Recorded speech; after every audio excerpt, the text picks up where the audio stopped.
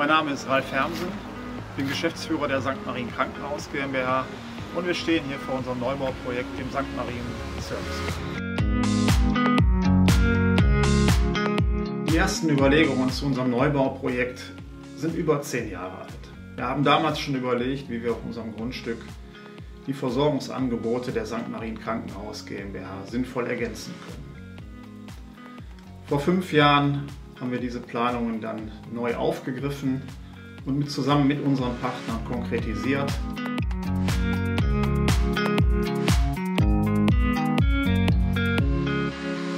Das Ergebnis sehen wir heute. Wir konnten 31 Wohnungen des Servicewohnens am Standort realisieren.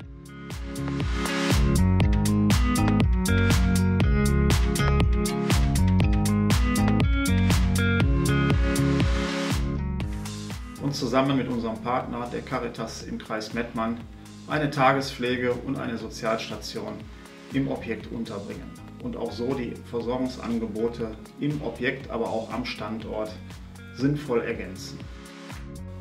Das Besondere an unserem neuen Angebot ist, dass unsere zukünftigen Mieter und Nutzer in ihren eigenen vier Wänden selbstbestimmt wohnen bleiben und im Bedarfsfall die verschiedenen Versorgungsangebote am Standort nutzen.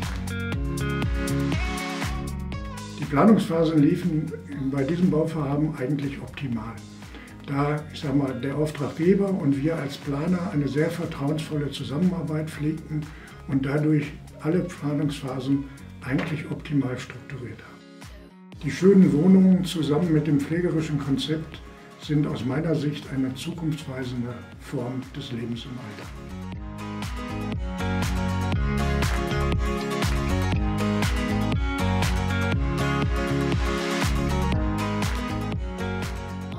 Unser Unternehmen ist so ein Traditionsunternehmen am Bau. Wir haben dieses Jahr unser 150-jähriges Jubiläum und machen seitdem Hochbau und seit vielen Jahrzehnten auch schlüsselfertiges Bauen. Und so sind wir ja auch hier tätig. Ja, der Bau von äh, Wohnen für Senioren, für ältere Menschen, äh, das ist äh, für uns ein, ein viel äh, gebrauchtes Thema in den letzten Jahren gewesen. Also wir haben schon viele Einrichtungen in der Art gebaut.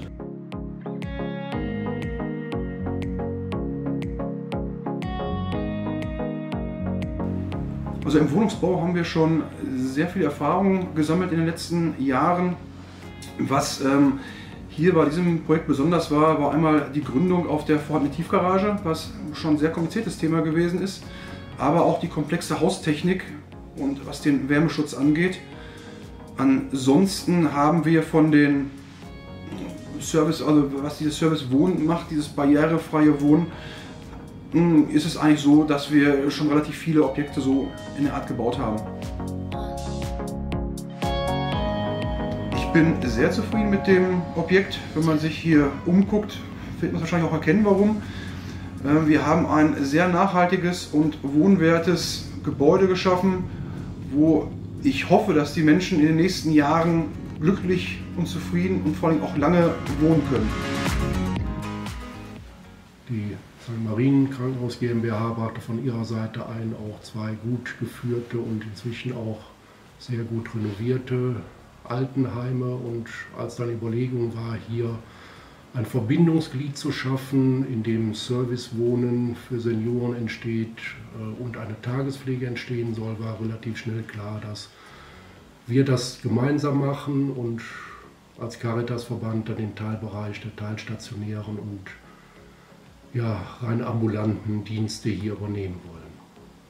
Die Räume bestechen durch ihre Größe, durch ihre Lichtdurchflutheit und äh, einfach eine tolle Einrichtung, sowohl zum Wohnen als auch für unsere Tagespflege, als auch für unsere Mitarbeitenden als Arbeitsplatz.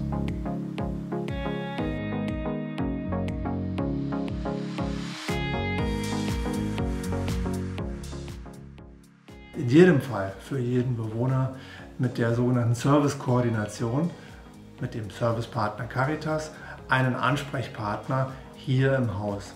20 Stunden oder 19,5 Stunden pro Woche ist die Servicekoordination vor Ort, um Bewohner, Mieter zu beraten. Das sind vielleicht Fragen der alltäglichen Lebensführung. Das können Behördenangelegenheiten sein oder aber eben auch die Vermittlung weitergehender Dienste, der sogenannte Wahlservice. Was aber auch nicht vergessen werden sollte, und auch das gehört zum Grundservice, das ist der sogenannte Quartierstreff. Ein Gemeinschaftsraum, vielleicht könnte man so sagen, der den Mietern zur Verfügung steht und der auch durch die Servicekoordination mit begleitet wird, sodass äh, das Miteinander hoffentlich entsteht, so wie es gewünscht ist und auch an der Stelle dann besonders seinen Ausdruck findet.